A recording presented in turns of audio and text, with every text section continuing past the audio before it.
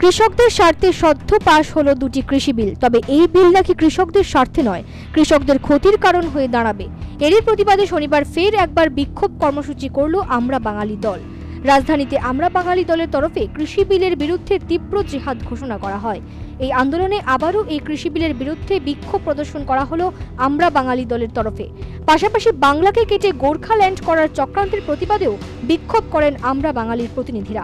বিক্ষোভ কর্মসূচি নিয়ে আমরা বাঙালি দলের রাজ্য সভাপতি গৌরাঙ্গ রুদ্রপাল বলেন, এই কৃষি বিলের প্রভাব পড়তে শুরু করেছে আম জনতার উপর। নিত্য প্রয়োজনীয় জিনিসের দাম বেড়ে যাচ্ছে।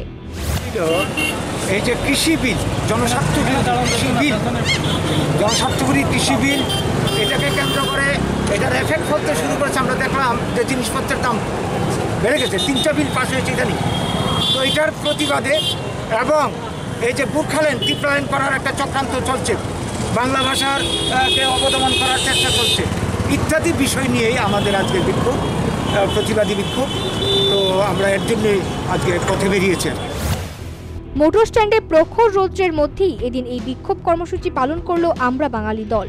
তাদের এই প্রতিবাদ আদতে কতটা গ্রহণযোগ্যতা পায়, এটা কিন্তু বলবে সময়ই। Bureau report, News Vanguard.